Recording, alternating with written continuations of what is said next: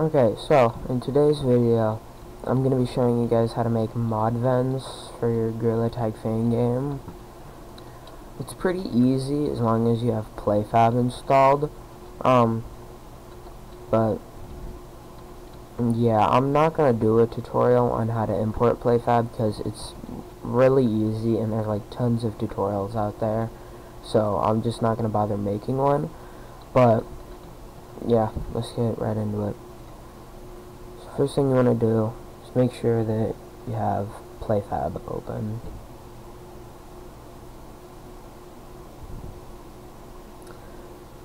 Then go to your game, go to economy, and create a new catalog. Open it up, then you should see something like this. Want to create a new item.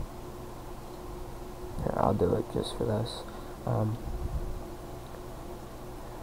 wait, yeah, yeah, create a new item, then come back here, and let's just, for this tutorial, I'm just going to make like a cube for it, because it's, it's really easy to make the vents. All you gotta do is like, make a ton of special things or do what I did and just put it all into one thing and have that be the object that, you know, you can control with PlayFab. But, yeah. So, create your object, whatever you want, create whatever you want for PlayFab. And this is going to be like something that only you and other moderators can see, or other people that you select can see. Then you want to, I think, go to scripts. No, it's, I think you just have to, like, hold on.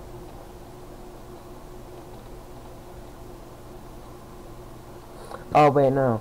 Okay, so, create a PlayFab login thingy and put the PlayFab login script on it. You should have already done this if you have PlayFab imported, but if not, just find a tutorial on PlayFab. I'm, I'm not going to do it. I'm just going to assume you have this. Um, but go here, special items, create a new one, drag your cube into this area, name the catalog name catalog in here. Then go to here go back to your item. Wait actually no go back here. Name your cube something like anything. I'm just gonna name it like special cube. Then alright wait cube. Then you want to select all of it copy it. Um, back here and paste it here,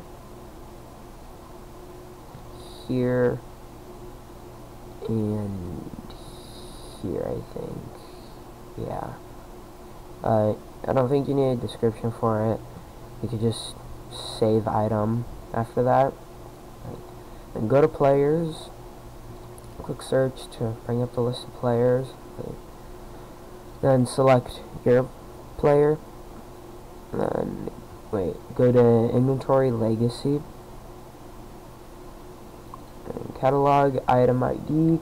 Paste the special cube thing in here. Grant item. Okay, then come back here. Disable the special cube. Then, when you go to play, it should show up for you. Um, basically, to integrate this into like mod vents or doors that you can open, all you gotta do is make like oh separate like the door or something, and like add enable and disable buttons. Those are gonna be in my Discord down below, or the scripts for them are gonna be in the Discord down below. You're gonna add the disable script to the green button and and enable script to the red button.